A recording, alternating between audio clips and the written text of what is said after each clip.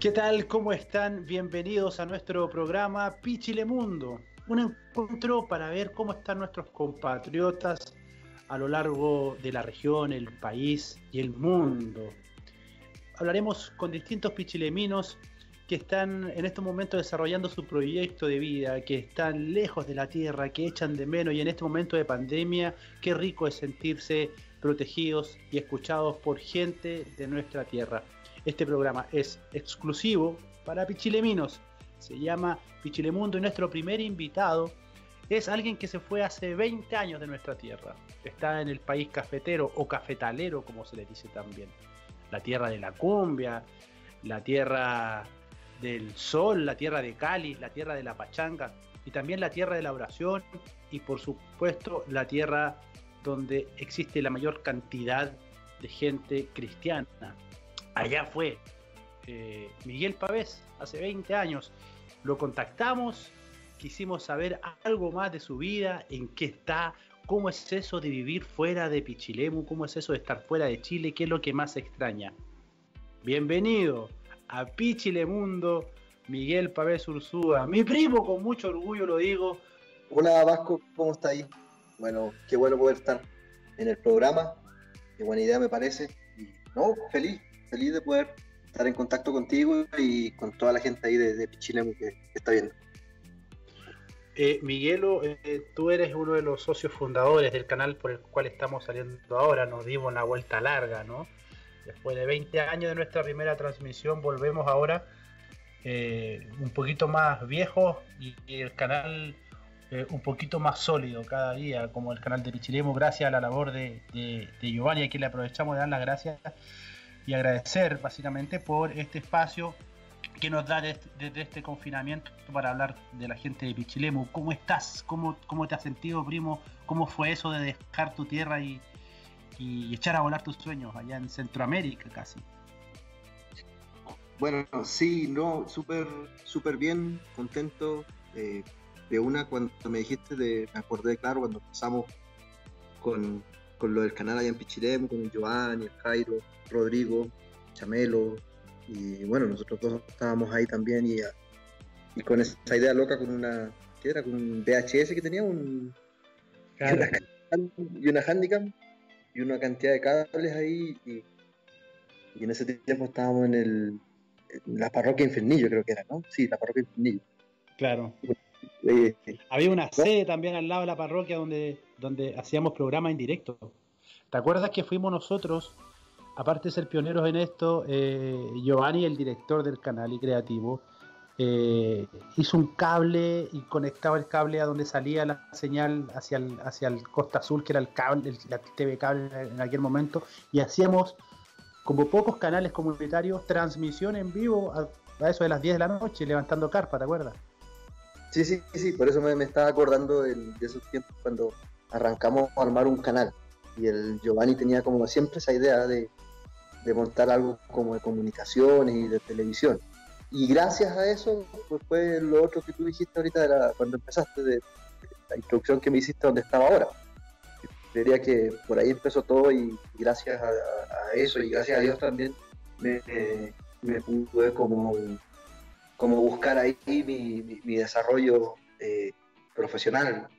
Entonces, eh, sí, sí, me acuerdo mucho y muy contento porque eso fueron los, primeros inicios en, televisión. No teníamos mucho, no teníamos muchos recursos, pero sí, sí teníamos hartas harta ideas de, de qué hacer y, como ganas, más que nada, ¿no? Como ganas era, lo, que había, más ganas que plata y que recursos. Sí, pasa que éramos un canal muy humilde, pero nos sirvió a todos. O sea, a ti te sirvió desde el punto de vista de, de la gráfica, tú eres nuestro director gráfico. Recordemos que Miguel Pavés es diseñador gráfico, trabajado acá en, bueno, no comentando a poco, trabajó acá en televisión. Eh, yo soy periodista, eh, llevo casi 20 años en esto de la televisión, en Televisión Nacional de Chile y después como jefe de prensa en, el canal del fútbol. Eso ayudó un poco, ¿no? A soltarse, a despercudirse, a no tenerle miedo a enfrentar una cámara y a no tenerle miedo a enfrentar proyectos, ¿no? Porque tú enfrentaste muchos proyectos después. Sí, no, no, o sea, eso fue el, fue el inicio, fue como yo creo que el, ver que, los sueños se cumplen, creería que arranca como de ahí, o sea, no, no, en, el oficio que estoy ahora, alguien, bueno, aprendí una frase que decía, uno puede editar un video hasta con un papel y una hoja, no hay que tener grandes equipos para, y básicamente lo que, lo que, se refería a eso es que en realidad los, sueños no dependen de cuánta plata tengáis o cuántos recursos tengáis, sino cuántas ganas tenéis de cumplir el sueño. Y creo que el canal refleja eso, o sea, el canal es, para nosotros, para mí, para mí, bueno, y, para los que, que, arrancamos fue como eso, como el darse cuenta que, que, no es necesario, bueno, sí se necesita, obviamente, los recursos y todo, y por eso también hago, paréntesis, un llamado como a los que están ahí, los que están de afuera, también a poder apoyar. Yo sé cuando hablo con Giovanni, por lo que necesite, siempre estoy a disposición, pero apoyar es, eh, la iniciativa, ¿no? Entonces, cuando arrancamos era eso, eran como más ganas que, que, recursos y, de ahí yo creo que eso fue lo que sembró como el hecho de no, nos quedó grande el hacer un canal comunitario ya lo que venga después no es desafío sino que algo que o sea no es algo que sea imposible sino que se puede hacer y, y, creo que, cuando uno uno arranca como como de abajo y, y a pulso valora más lo que tiene, ¿no? O sea, valora más cuando ya empiezan a llegar recursos, empiezan a llegar equipos, cuando empiezan, no sé, o sea, como a, aligerarse la carga un poco para avanzar. Entonces, por eso siempre me, uno recuerdo, recuerdo mucho de, de, dónde vengo. También ahí lo que siempre se dice, nunca olvidarse de dónde uno salió ni de dónde uno proviene. Y, y, volver a hoy precisamente a estar en, el canal nuevamente. Estamos los dos de nuevo, está Giovanni atrás entonces, como, como que al final, bueno, estamos más viejos, más, con más experiencia, pero, pero como, como agradecidos, como una capa de, gratitud.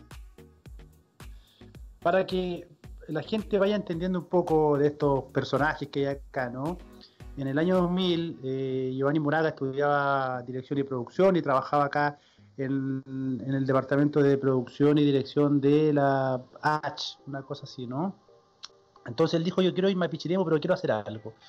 Eh, nosotros estábamos en Santiago estudiando en la universidad y con Giovanni decidimos y una cámara VHS eh, hacer noticias pichilemuinas. Pero eran noticias un poco desfasadas porque las editábamos la semana y las lanzábamos en Pichilemo el día viernes. Y justo coincide que eh, se instala un, sistema de, cable, ¿no? Eh, de, televisión pagada por cable que se llama Costa Azul y nosotros fuimos a ofrecerle nuestros servicios como, entre comillas, canal. Y ahí nació primero Estación 19 y después nació el canal eh, de Pichiremo.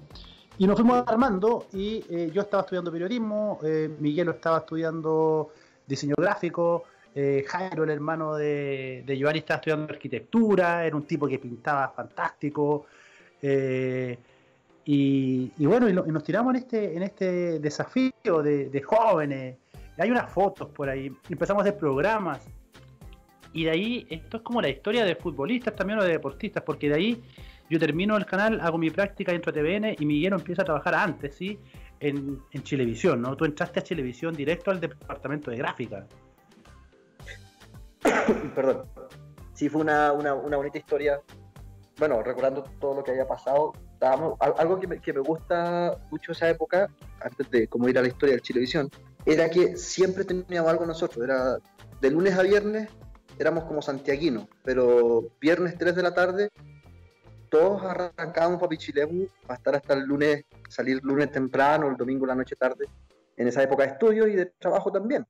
Entonces como que nunca estábamos como fuera del pueblo, siempre estaba el pueblo ahí con nosotros. Entonces, sí, yo terminé, yo estudié ingeniería en prevención de riesgo, duré como cuatro o tres años en, eso, eh, tuve problemas con cálculo, no de la vesícula, sino cálculo de matemática que no, no cuadrado.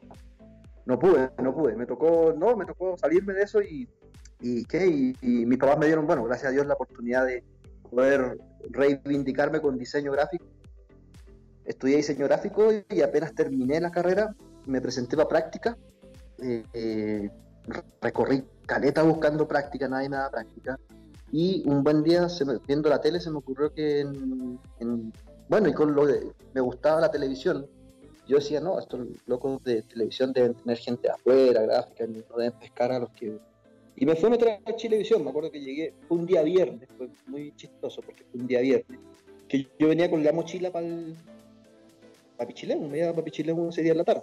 y voy a ir a llevar la carta, entonces agarré la carta, la mochila, me fui con, chala y con short, fue en verano, y fui a dejar la, hoja para hacer la, la práctica, pasantía, la práctica, y me atendió justo el que iba a ser mi jefe, eh, se llama. Eh, se me olvidó el jefe. Tan importante. No, eh, mentira, es Camilo Roger. El Camilo eh, era un venezolano, es un chileno que vivió en Venezuela toda su vida, fue exiliado en Venezuela. Y me recibió y cuando me vio con la pinta me dijo, ¿vos venís, vos venís o vais para la playa? Y le dije, no, yo vivo en Pichilemu, en una playa. Y me dijo, ah, qué buena, yo en Venezuela viví casi toda mi vida en una playa. Y le caí bien al, al loco me acuerdo que me mostró las hojas que tenía, tenía de la Católica, de la Universidad de Chile, diseñador y todo, pero dijo, ¿sabéis que me caíste bien? Porque soy de la playa, porque tenéis onda como, como bacán y me gusta la gente de la playa, me cae bien la gente de la playa y me cae mal los de Santiago. Así que, ¿sabéis que ven la otra semana? y te voy a dar una oportunidad. Me acuerdo que eh, en la donde yo estudié, en la Universidad de los Leones es ahora, ese tiempo el instituto, eh, el diseño que nosotros hacíamos no era para televisión. Yo me acuerdo que lo único que había hecho para televisión había sido precisamente en el canal con Giovanni, cuando armábamos las presentaciones, los programas y todo eso. Y dije, no, para pues alguna idea tengo que tener. Y de hecho, cuando yo me presenté con el Camilo, yo le mostré lo que habíamos hecho en el canal. Y también le gustó, habíamos, le mostré un poco de levantando carpa, había una cosa que yo hacía con, con los personajes típicos de Pichilemo. Que entre sonidos locales. Sonidos locales. Sonidos locales se llama buen nombre. Y entonces le mostré unas cosas que tenía y le gustó y me dejó. Y, me acuerdo que, cuento corto, eh, este tipo me enseñó a hacer eh, diseño gráfico, pero para televisión, Ocean Graphics, todo lo que es 3D, 2D, After Effects, bueno, los programas que usábamos, que ese tiempo la universidad ni, ni de sueño lo, lo, lo sino que solo se aprendía en televisión. El tipo venía a trabajar en Cinemax, en HBO, en Miami, California estuvo también y se había venido a Chile. Y ese fue mi maestro, Camilo. Eh, y, el, y, hicimos un equipo tremendo. Me trabajé por cuatro años en Chilevisión desde que entré. O sea, entré a la práctica y me dejaron. Pero yo tenía un trato con ellos. Yo madrugaba, mira lo que hacía para poder irme a Pichilemu los, los viernes en la mañana. Yo madrugaba el jueves, yo pasaba el jueves toda la noche, hasta el viernes en la mañana trabajaba a mediodía. Y el mediodía salía y me iba a Pichilemu y volvía el lunes. Y así duré los cuatro años que estuve trabajando, siempre lo hacía así. Y ahí fue cuando aprendí a trabajar con, lo de televisión y duré en el Chilevisión cuatro años, muy lindos años. Allá, bueno, hice trabajar la parte gráfica, hacía las presentaciones de, teatro en Chilevisión, rec, em, comerciales, spot, eh, bueno, los ID del canal, no, solo yo, digo con el equipo con el que estábamos, con el Camilo, con, bueno, con, Camilo más que nada era el equipo y otra persona más. Y, y, ahí aprendí producción, aprendí, bueno, cámara, aprendí muchas cosas y sobre todo gráfica y, animación. Y, ahí en ese tiempo duraba en el canal y el fin de semana me, iba a pichilear. Pero, ¿cómo fue que llegó, en ese punto llegó a, Colombia? O sea, ¿cómo, ¿cómo terminó en Colombia? Arranqué, eh, en ese tiempo yo me acuerdo que yo estaba en un proceso de, búsqueda, digámoslo así, eh, personal, como de, con, varias situaciones como, como, de, como de, de, algo me hacía falta. Sí, tenía como una necesidad. Medio perdido.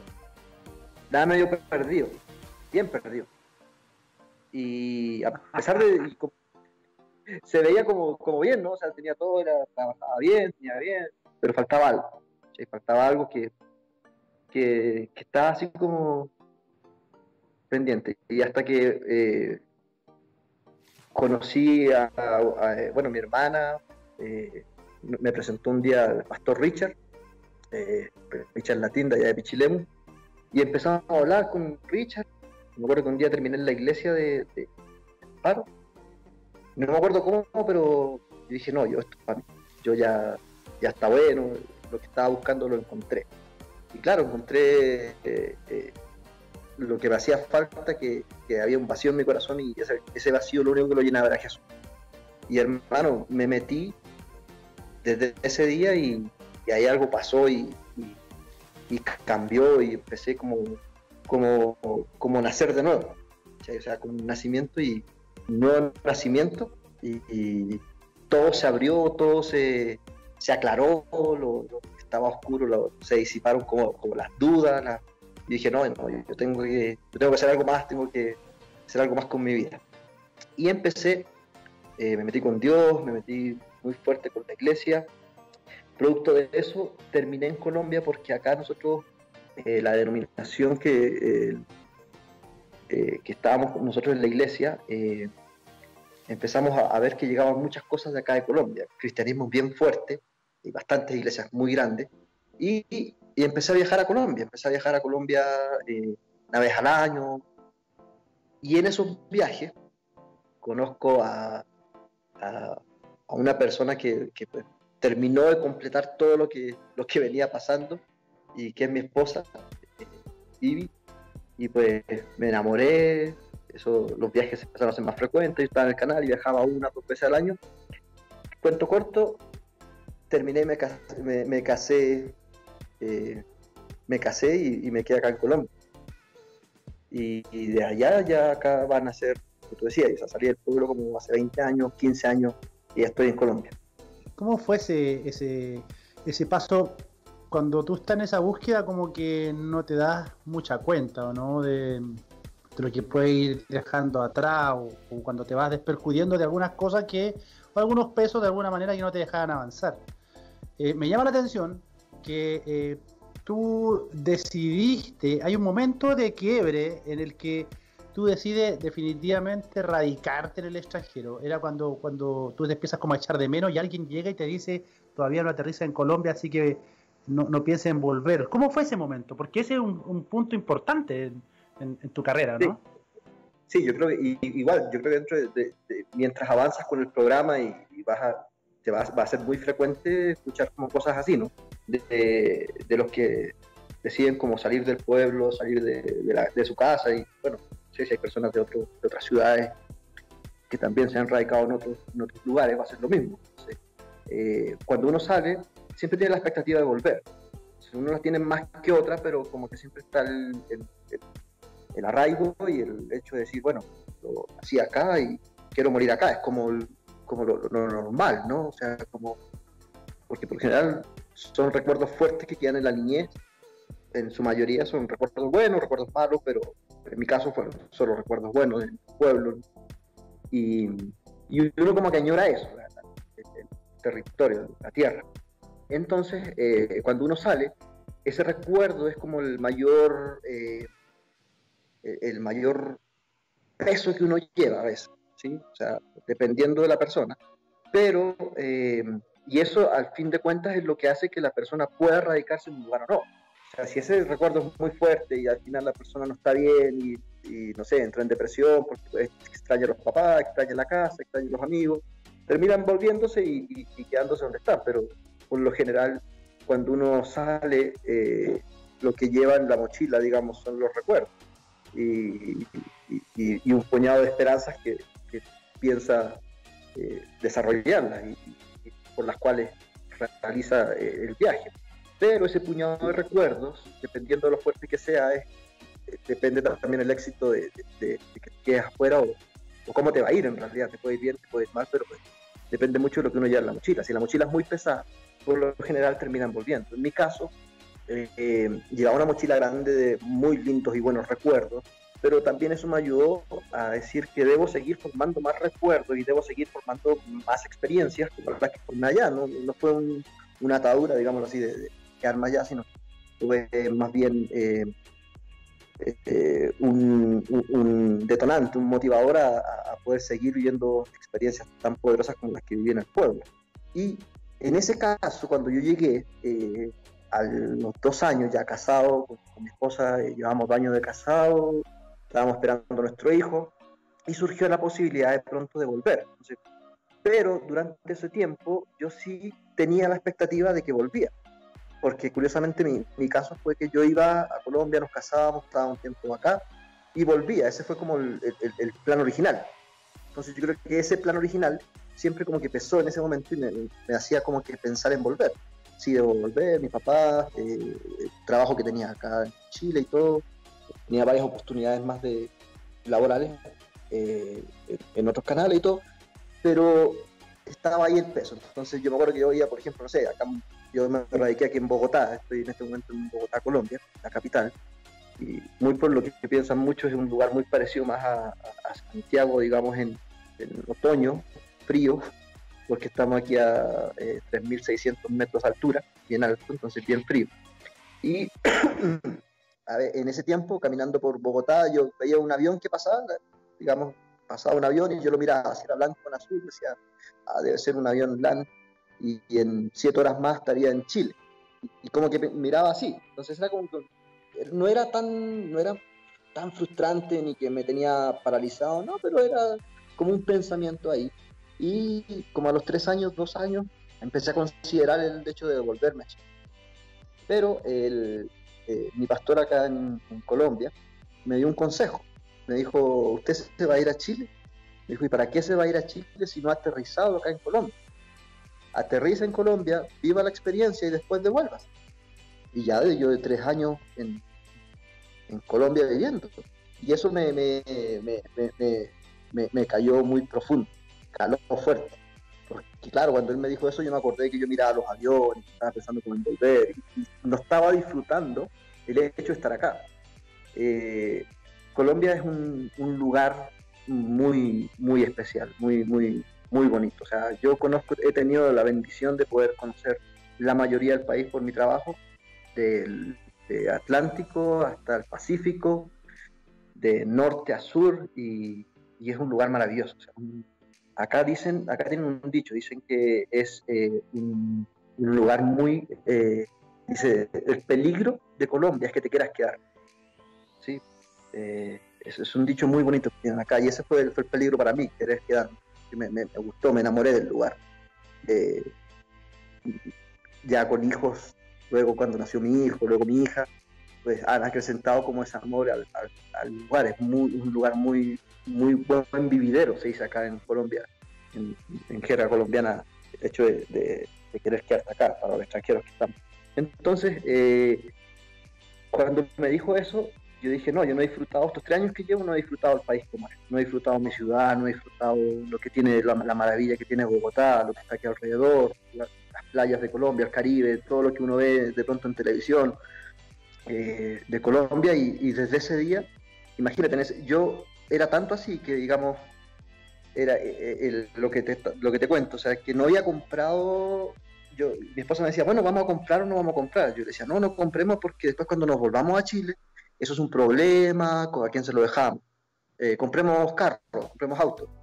No, no compremos auto porque después toca venderlo, perdemos plata, no, o sea, arrendábamos y no, no, yo estaba como en ese sentido, como que, que parado, ¿cachai? Entonces cuando hablé esto con, con, mi pastor y, me dio este consejo, imagínate, a los dos meses de haber hablado, yo ya estaba firmando la compra del primer departamento nuestro a los dos meses de haber hablado eso. Luego, bueno, compramos carro ah, y vimos como el hecho como mental de, abrirme al hecho de decir, voy a, voy a quedarme acá, voy a, a, en este lugar, voy a vivir lo que es esto, hizo que, pudiera experimentar un, despegue y, y, estar más tranquilo, estar más tranquilo. Soy consciente de que está mi familia en Chile, hay amigos también y todo, pero yo sé que, yo tengo un dicho, digamos, que si yo me encargo de las cosas de Dios, Dios se encarga de mis cosas. Y se encarga de mi familia en Chile y también de mi familia acá. Entonces, yo como que tengo un trato ahí con, Dios en ese sentido. Cuando, cuando decides quedarte definitivamente, se te, se, te abre el, mundo, como que todo empieza a fluir, ¿no? Como que soltaste un poco tus temores, que básicamente son los miedos, y cuando, cuando aparecen los miedos, por lo general la gente se paraliza, ¿no? El miedo lo que hace es eso, es paralizarte, no dejarte accionar en ningún momento. Se te abre un mundo a ti y te conviertes en uno de los productos, la industria que genera eh, el cristianismo es muy grande, ¿no?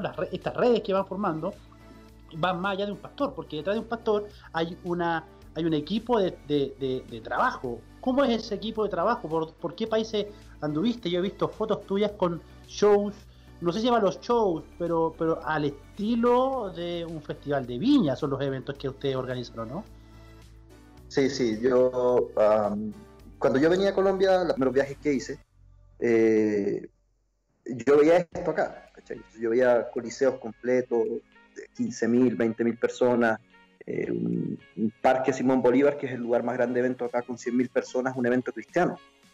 Entonces era un choque porque pues, nosotros por lo general sabemos que pues, en Chile no hay iglesias tan grandes, digámoslo así, sobre todo esos números que tal, no hay 15.000 personas que se juntan, digamos, cada fin de semana. Entonces eso fue uno de los motivos que también me, impulsó a, poder venir. Entonces claro, cuando yo vi eso, yo dije, no, Dios mío, acá acá yo puedo también desarrollar lo que yo aprendí, pues desarrollarlo con, como, eh, yo sentía como una deuda, no una deuda, un compromiso con, Dios para poder como responderle en gratitud a lo que, a él hizo por mí. Esta historia es increíble porque cómo, cómo tú te transformas en este productor ejecutivo que mueve masa y que hace tremendo evento, pero eso no mover después de esta pausa comercial porque necesitamos que nuestros pichileros también financien todo este viaje por el mundo que estamos haciendo junto a los pichileminos que están fuera. Ya volvemos después de este corte con mucho más Pichilemundo y la gran historia de Miguel Pávez Ursúa, un hombre que está radicado en Bogotá, Colombia.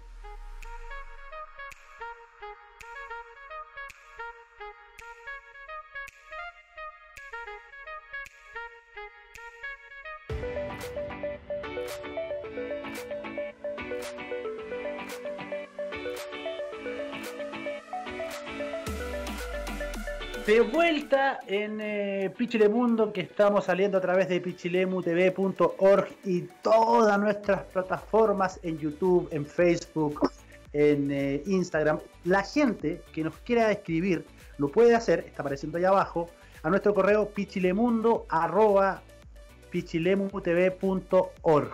Nosotros nos contactamos con él, lo llamamos y le hacemos un programa para que nos cuente cómo es vivir fuera de Chile. Oye, yo tengo un primo, qué sé yo, que está en Punta Arena, sería lindo saber de él. Lo mismo, escríbanos a pichilemundo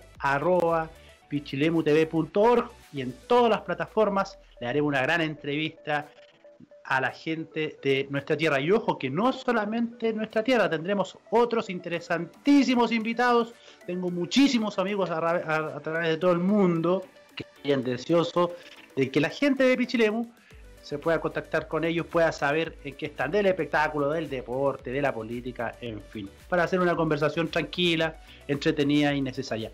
Volvemos con Miguelo, que está allá en Bogotá, Colombia. Les contaba yo que él se fue transformando en un productor de la gran escuela ¿no? de, de eventos digno de un pichilemino que mueve masa.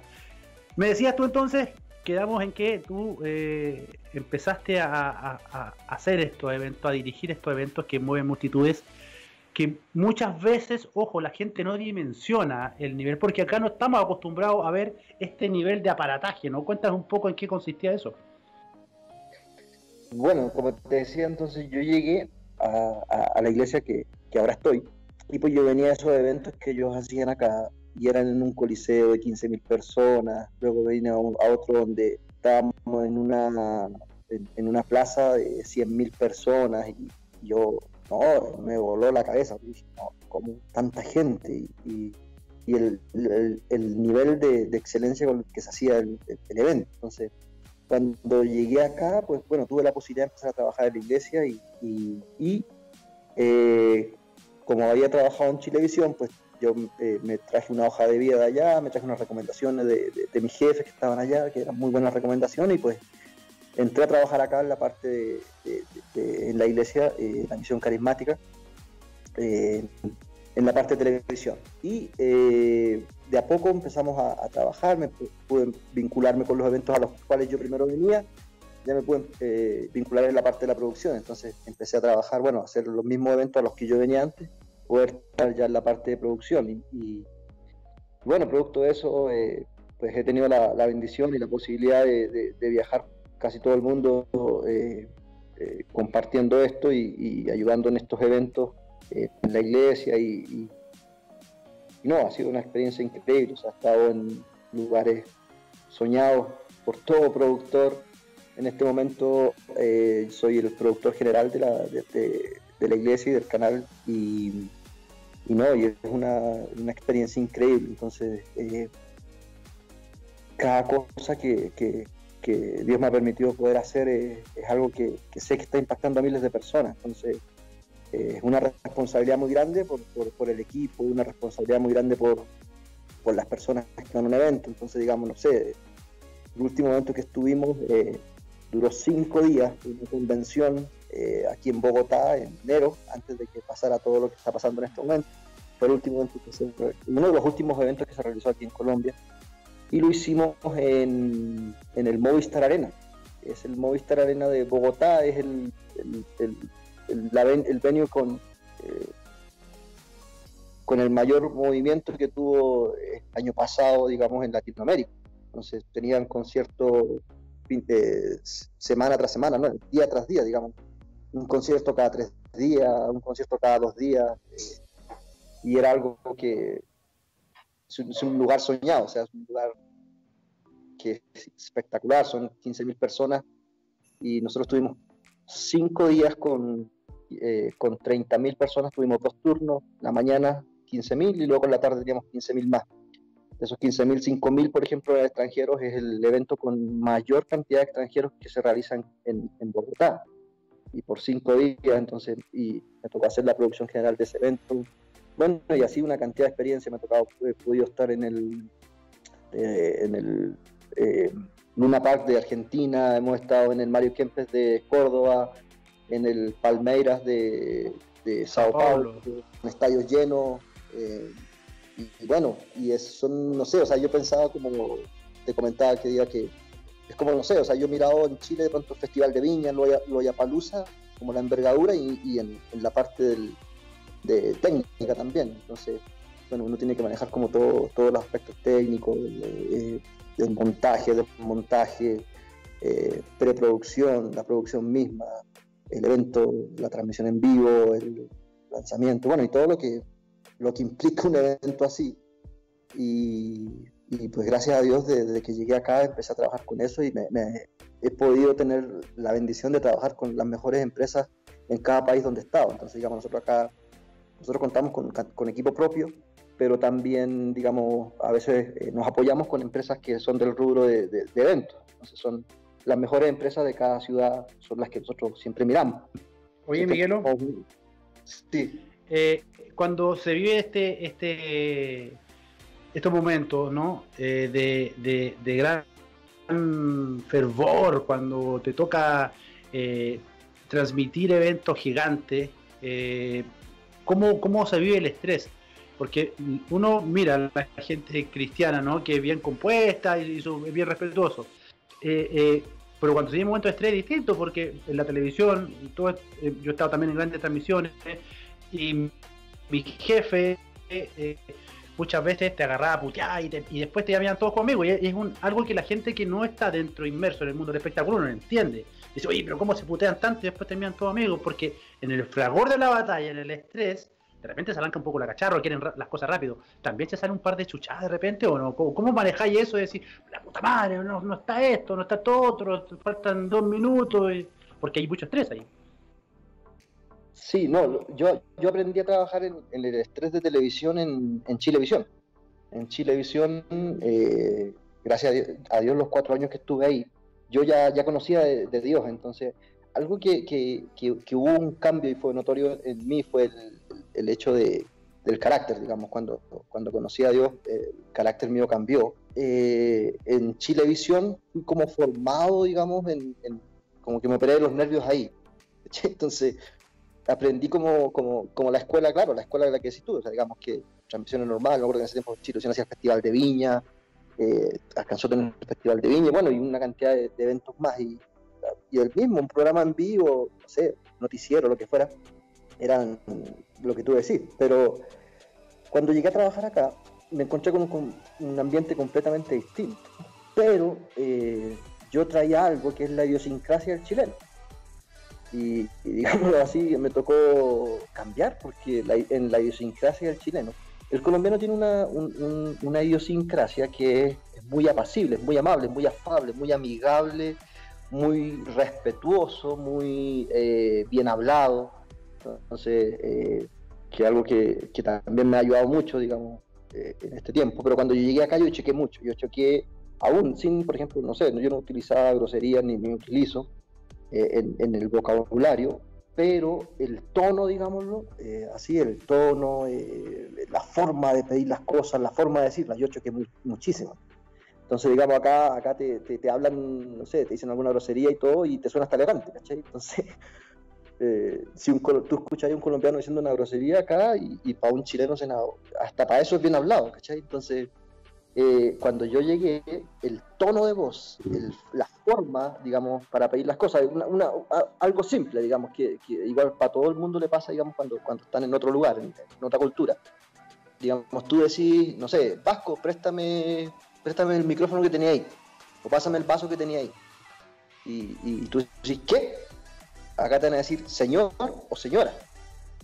Entonces, ¿qué no, no es una respuesta? O, no podéis decir, si no entendiste algo, como, ¿qué querés? O toma, de una. Tenéis que acompañarlo de, hacer la oración completa y, y, cosas así que, de pronto, como, como la cultura mía como chileno, pegó, chocó en los primeros años. Me tocó cambiar mucho, me encontraba que a veces decía las cosas, las pedía y alguien salía lastimado, alguien después me decía, oye, me hablaste feo, oye, me levantaste el tono, entonces, eh, incluso nosotros cuando empezamos, cuando yo empecé a trabajar acá, había muchas empresas que nosotros contratábamos, no, no en, la, iglesia, se contrataban muchas iglesias, se contrataban muchas em, eh, eh, proveedores que no eran cristianos, pero aún así, siendo personas que no, que no son de iglesia ni nada, me decían, me decían, oye, pero tú hablas, hablas como feo. Y, y, yo le decía, no, es que es como la cultura. Y, la verdad yo creo que de pronto te vas a encontrar con la sorpresa de que muchos chilenos les pasa así, o sea, como somos secos. Entonces, como que la cultura del chileno es muy seca, es muy parca. Eh, a veces también, otra cosa que me da cuenta es como que a, veces nos ahogamos en un vaso con agua, ¿cachai? Entonces armamos un tremendo problema de algo que no es. Entonces me decían, no, pero relaja, si todo tiene solución, mira, vas por acá y esto se le da acá. Entonces, el, colombiano es muy, eh, muy diplomático es muy diplomático y eso me enseñó también como a, poder manejarme acá con... Entonces, esa es una excelente escuela para este tipo de trabajo. ¿Por qué? Porque eh, he tenido situaciones estresantes que yo decía, digamos, y a veces yo les digo a ellos, digamos, una situación como la que estamos, no sé, no, no, no llegó el sonido para un evento, a dos horas de empezar el evento. Una situación como esa, cualquier otro estaría con una pistola eh, en el pecho poniéndosela para que haga funcionar o, o pegándole directamente. Pero nosotros eh, eh, aprendimos como eh, con la cultura colombiana y sobre todo en la iglesia a, manejar muy bien lo de la presión. Entonces tengo un nivel de, de, tolerancia al, estrés bien alto y me ha ayudado también, eso te, ayuda mucho al nivel de profesionalismo. por ejemplo, en esta última convención que, te contaba de, de, enero que hicimos en el Movistar Arena acá de Bogotá, eh, uno de los días que estuvo, como para que podáis dimensionar un poco, estuvo el presidente de la República. Entonces estuvo con nosotros toda esa tarde. Entonces cuando llegó el, esquema de, seguridad, ellos, bueno, mandan un día antes, eh, bueno, francotiradores arriba, no sé qué, bueno, una cantidad de cosas acá, el nivel de seguridad es un poco, bueno, mucho mayor que, en Chile, digámoslo, para, para las autoridades. Entonces llegó la jefe de prensa y llegó el jefe de, bueno, capitanes, coroneles y todo eso, que son eh, con los raditos y todo acá, va a entrar el presidente, no sé qué. Entonces llegó el jefe de la comitiva y me dice, no, todo alterado.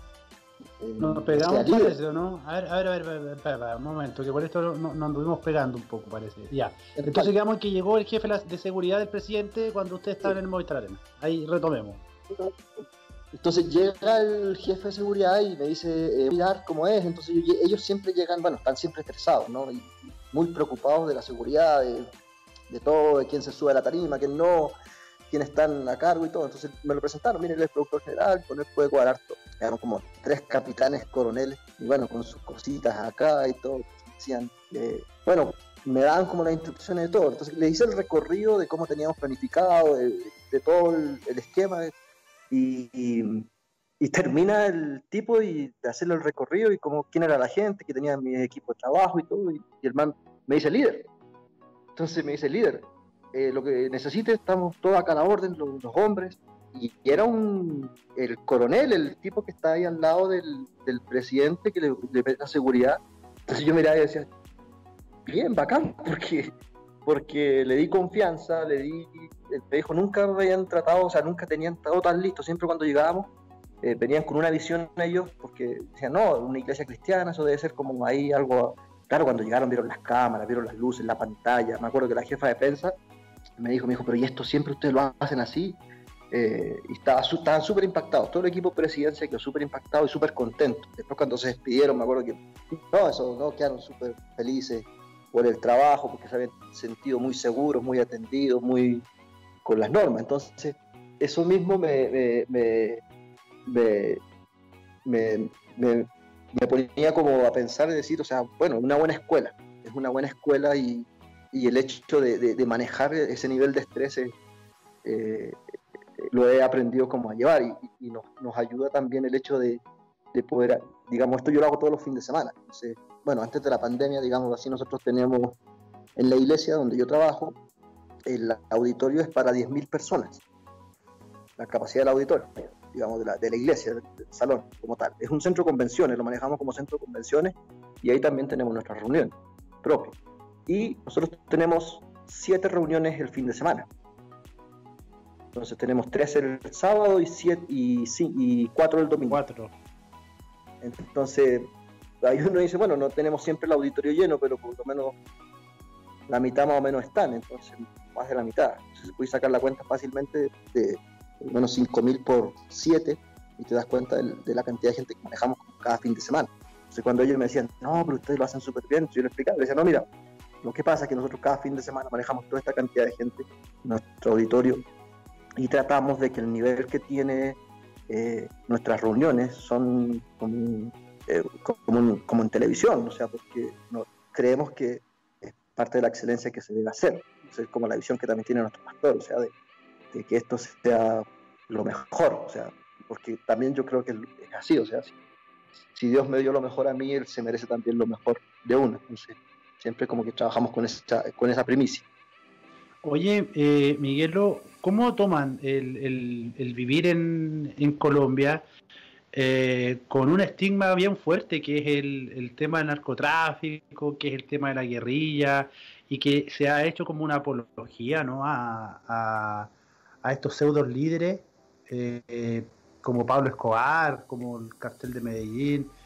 Eh, usted, para ustedes, ya tú eres pueblo colombiano, tu, esposa es colombiana, para ustedes, ¿qué significa eso? ¿Cómo, cómo lo toman? Que que de alguna manera se trastoquen ciertos valores con esto de la televisión y, con esto de, lo, de los líderes narcos, ¿no? Eh, casi caricaturizados. Eh, ¿cómo, qué pasa por el pueblo colombiano con eso? bueno, a mí me pasó algo, digamos, cuando yo me acuerdo que me compré una camiseta que decía eh, Colombia y me la traje. me acuerdo que estaba en Santiago y iba para, el canal, de hecho y una persona me quedó mirando y dijo, ay, Colombia, no, eso es terrible, esos son guerrilleros, son narcotraficantes, no sé qué. Y, me dio una cosa así como yo dije, ¿pero tú has viajado a Colombia? dijo, no, pero lo que muestran en la televisión. Y, fue una persona a la calle, ¿cachai? X. Y yo dije, no, no, Colombia, el, problema de Colombia es que te quieras quedar allá. Como lo que decía, lo que te decían delante, el riesgo es que te quieras quedar. Y desde ese día yo empecé a pensar y, y como ya empecé a entender un poquito más pero es como, yo siempre pensé en algo, yo decía que también me pasó, de hecho, eh, afuera, estando afuera en el extranjero, como cuando los chilenos nos dicen que somos ladrones, tal cual, o sea, o sea, uno lo echa el chiste, ¿no? Que los, los, y los, que roban se fueron para otros países, y, pero, pero, es cierto, el es fuerte, o sea, acá en Colombia, te voy a contar, cuando yo llegué, ¿sabéis qué fue lo primero que aprendí? un dicho que tienen acá que se llama paquete chileno. Y es, o sea, famoso, o sea, famoso. ¿El paquete chileno qué es? Que como que vas por la calle Ah, en Chile el cuento del tío. El cuento del tío. Botáis un papel, eh, un billete y adentro van puros eh, papeles. O sea, ah, mire, se le cayó.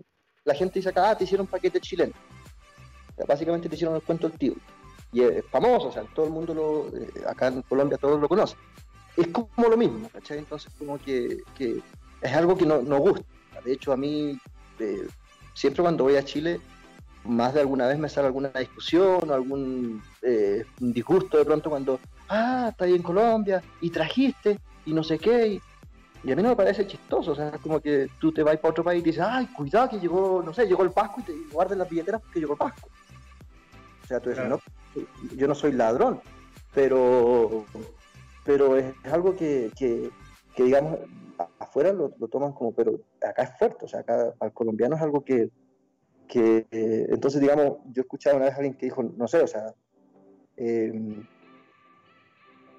ah, colombiano, entonces eh, como eh, traficante. Y, la persona le decía, no, o sea, ¿te gusta? Em, o, que empiezan a hablar, no, que Pablo Escobar, que no sé qué. Pero es que Colombia es mucho más que eso. Ese tipo puede decir, hizo un daño increíble. De hecho, acá había hay un dicho que dice que, bueno, un gran político que lo asesinaron, que él decía que a, ningún colombiano le dé, le dé pena, dé como vergüenza mostrar su pasaporte en el extranjero.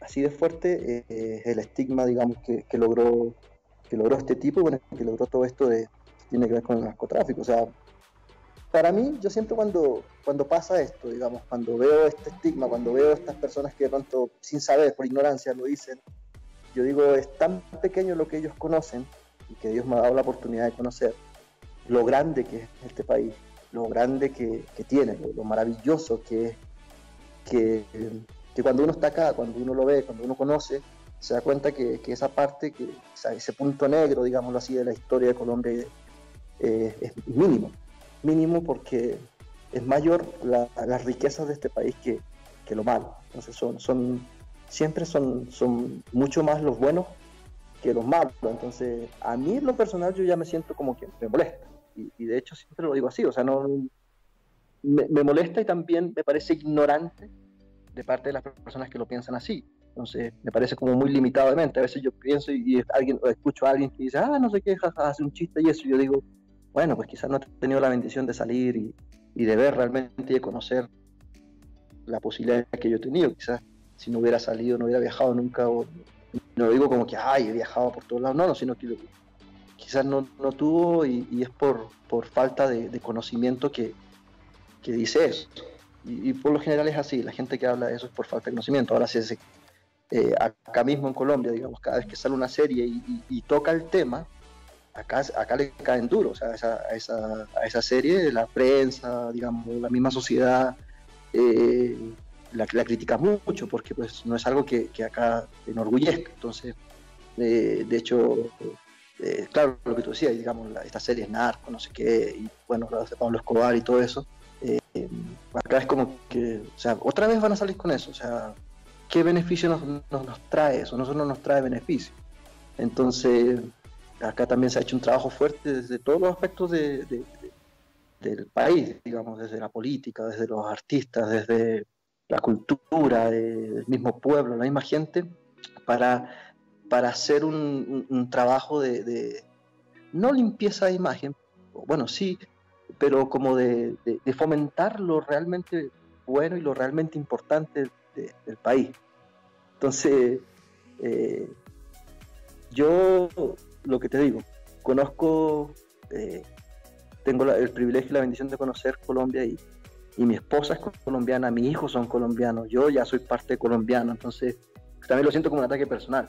Entonces, como yo ya lo tomo como, como de manera personal y, siempre cuando, cuando sale este tema, yo primero lo que primero veo es como ignorancia y, y, luego también explicar y mostrar lo, bonito. Entonces, decirle, no, mira, Santa Marta, Cartagena, la, San Andrés, y así empiezo por ahí, luego, bueno, sigo el café, eh, y son cosas que la gente, la cultura, eh, y así, o sea, pero, pero, pero a veces duele, a veces, a veces, duele y molesta.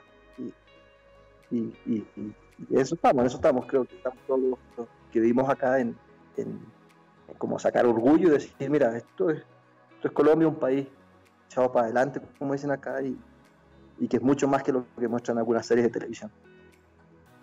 De hecho, yo estaba no sé si ¿Qué? lo que es. Es un, ¿qué? ¿Un jugo de...? De... Jugo ¿Qué, de ¿Qué cu- estás tomando? ¿De No, ese qué? es guayaba. Guayaba. Ah, bueno. No sé si Rico, y el, y, el, llegó. y, el, y, el, y el café también es rico, y, el baile, el, sazón que tienen los colombianos. Me tomé un ¿Cómo? tinto, pero no, no un tinto chileno. Tinto se le dice al café acá. Ah, perfecto. Perfecto. si yo Acá, si, te, si, te, si te acuerdas, acá te existe el tecito helado. Si te sirven un tinto en Chile tiene que ser con carne.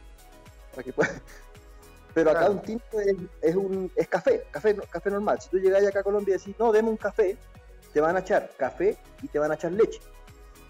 Sí, café con leche. Entonces, a, muchos les pasa cuando vienen por primera vez, dicen, uy, no, lo primero que quiero hacer apenas llegue a Colombia, tomarme un café. Van y, oiga, señora, deme un café. Y le echan café con, con leche. Porque el- cuando uno pide café acá, es café con leche. Pero cuando uno pide tinto, le dan el café puro, el café de grano. Ah, mira tú. No, yo ya estoy, yo me tengo que tomar unos 3, 4 tintos al día. Colombianos, ¿no? Ah, bueno, para el café. O sea, andáis con, así con las pepas, güey. No, no, fíjate que, fíjate que, que no, no, no, y tomo harto café, tomo por lo menos 4 o 5 tintos al día, pero es el sabor, es el sabor. Ah, Yo me, incluso a veces cuando tengo que trasnochar o trabajo, me tomo más té, que es difícil de encontrar acá, té negro. Ya no hay. O sea, hay té negro, hay té negro, pero no es así como, como, como la variedad que se encuentra en Chile. Me costó encontrarlo, de hecho. Yo- Cuando las primeras veces, los primeros años, yo me llevaba cajas de té supremo y mayonesa Hellman. Lo que más Ah. echa- eh, no hay. Y, gall- y galletas también, pues. ¿qué galletas extrañas de acá? La tía Marta te manda, a veces te manda harta galleta y cosas así. Chester parece que te mandaban también. las cookies, los super 8, eh, Eso, los Super 8. las ranitas, bueno, yo no sé si saben las ranitas. Eh, Sí, pues, bueno. Chewy, los Chewy. Eh, no, eso, lo- lo- lo- los de dos en uno, los, típicos de dos en uno. Esos son los que más se extrañan. Bueno, y la sopa y pilla. Ya estamos al- terminando. Ah, sí. pero allá podía hacer soypilla, pues si debe haber zapallo, pues, si- eh, zapallo. Se llama auyama. Que es como un camote, ¿o no? Es, es- el mismo zapallo, pero más chico.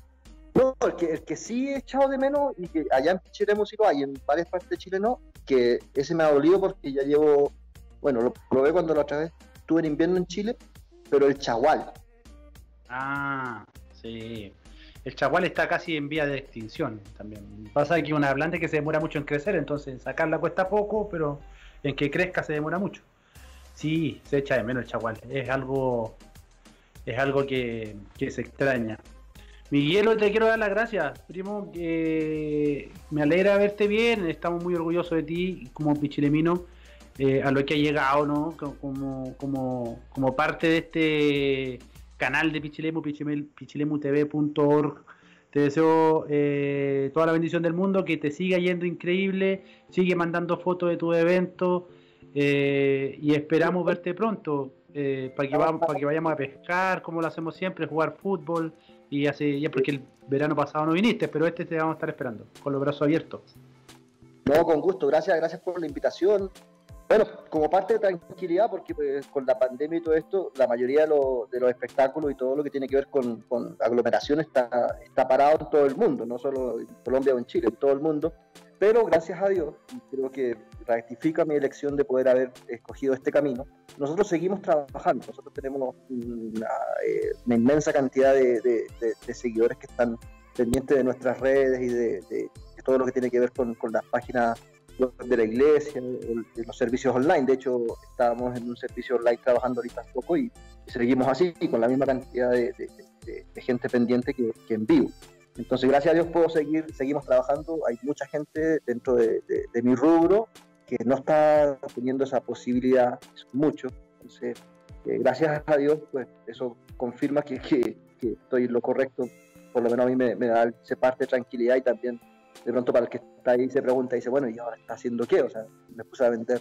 No, no, no estoy, sigo trabajando, seguimos con el mismo, eh, incluso un poco más de lo que veníamos haciendo. Así que, no, pues muchas gracias, saludos por allá también a, todos los que nos están viendo, que puedan apoyar eh, estos proyectos, eh, el canal y, y nada, yo creo que se vienen tiempos buenos, se viene, después que pase esto, tenemos que, lo que muchos dicen, pues reinventarnos. Yo creo que más allá de reinventarnos es poder eh, entender para qué fue esto, poder buscar quizás eh, de pronto una cercanía de, yo sé que, para todo esto es nuevo, pero hay algo que, siempre ha estado ahí que, y que creo que es la respuesta para, para muchas preguntas y muchas personas que quizás están pasando un tiempo difícil de, donde quizás están, perdiendo sus trabajos, están, bueno, con mucho temor, mucho miedo.